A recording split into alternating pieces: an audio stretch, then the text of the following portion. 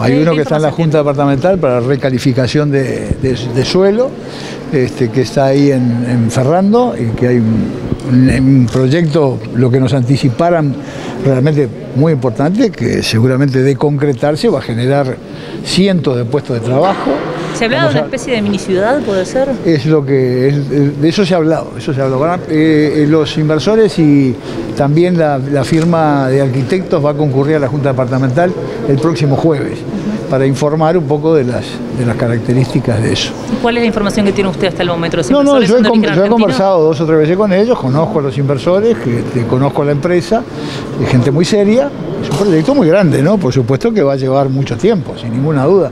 No es de los proyectos que se ejecutan en un año o en dos años, sino que es progresivo. Estamos hablando de edificios, estamos hablando de marinas, estamos hablando de, este, de prácticamente una mini ciudad, es lo que ellos pretenden, crear con eh, establecimientos educativos, con, este, establecimientos de, salud también, es decir, es un preproyecto muy completo, esperemos que se concrete. Tenemos otro, otro proyecto de una zona franca de servicios que está presentado en el Ministerio de Economía y Finanzas, en la zona Real de San Carlos, y otros preproyectos también de zonas francas de servicios.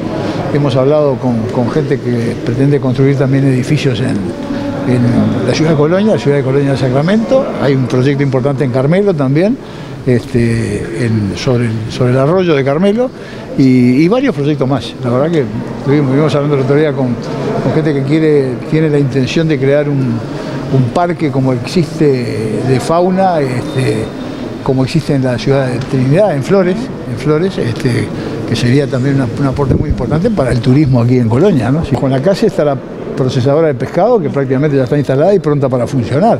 Ahí una inversión superior al millón de dólares, muy, muy importante. Yo acabo de hablar con el, doctor Amarilla, este, que es el subsecretario de Ambiente, hablando de las autorizaciones ambientales que van, van por, buen camino. Hay que pensar que tenemos a veces dificultades con el saneamiento en algunas ciudades que calle todavía no tiene, tiene un viejo saneamiento de, Campo Maris que ya está fuera de, fuera de época, fuera de tiempo. Entonces tenemos que trabajar en todos los aspectos porque tenemos que cuidar el ambiente, sin ninguna duda. Así que yo soy muy optimista en cuanto a que una vez que levantemos estas restricciones sanitarias, tengamos un fuerte empujón económico y que la gente vaya recuperando y, creándose nuevas fuentes de trabajo, que eso es lo que queremos todos. ¿no? Intendente, ¿quién va a ocupar la, dirección de Hacienda este, después de la renuncia a la no, contadora No tenemos esto resuelto, todavía no lo tenemos resuelto.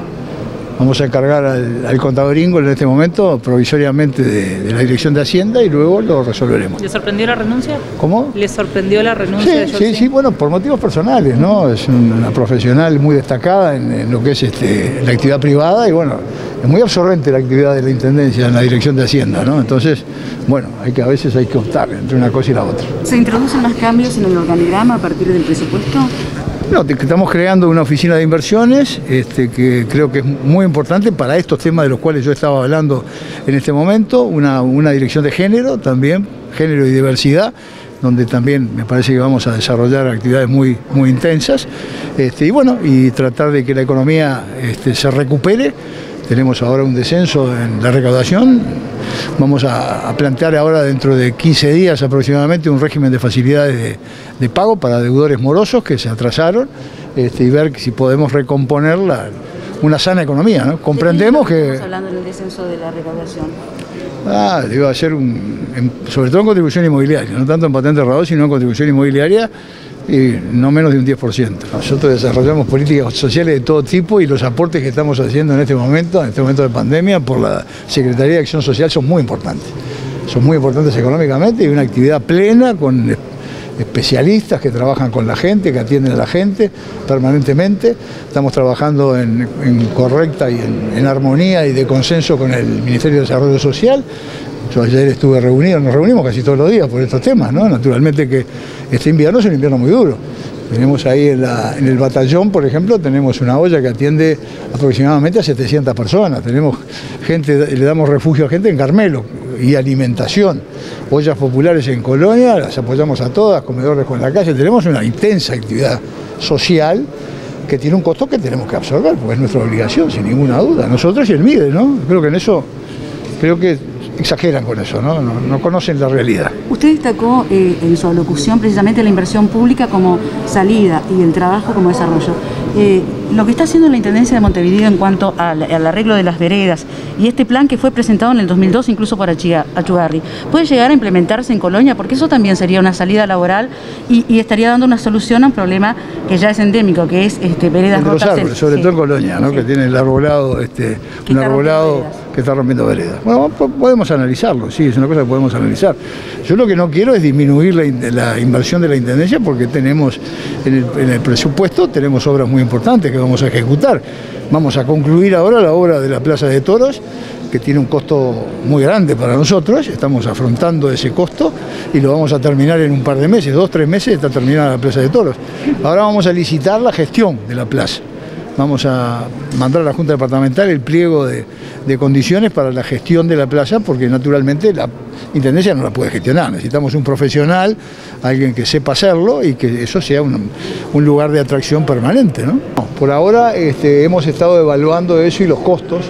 Eh, el municipio de Carmelo va a instalar este, un semáforo en, la esquina de 19 de abril y Plaza de la Madre. Ahí va a instalar a costo de los fondos del propio municipio de Carmelo, que en el literal B tiene fondos muy importantes. Así que anunciamos eso en Carmelo. Ayer en el general, ¿se piensa, ¿se piensa tomar alguna medida respecto al tránsito, eh, eh implementar más personal? Lo de ayer no fue un problema de tránsito, fue un problema de una, aglomeración, una aglomeración que no sé cuál fue el motivo, decían por el fallecimiento de un muchacho que se autoeliminó este, y después se armó todo ese lío, que incluso hubo siete detenidos, creo que tres son menores de edad, cuatro son mayores de edad. Yo hablé con el jefe de policía varias veces y, este, y, bueno, y está ahora a disposición de la fiscal. La propia fiscal fue agredida, creo, según me dijeron, cuando llegó allí, así que habrá alguna determinación seguramente respecto de eso, ¿no? Pero las motos son un problema, doctor, en todos las motos son un problema, claro que ¿Y, el tránsito también? Tenemos miles de motos este, secuestradas este, que no, no valen nada y que las estamos tratando de disponer. Es un problema, claro que es un problema. Gracias. Bueno, no, yo lo, conozco a Camí desde hace muchos años, este, militamos juntos en Alianza Nacional durante muchos años, pero no, nunca se trató de, de reingreso a, a Alianza Nacional. Al Partido Nacional sí, creo que alguna cosa está ahí. Después les adelanto, pero no quiero adelantar nada.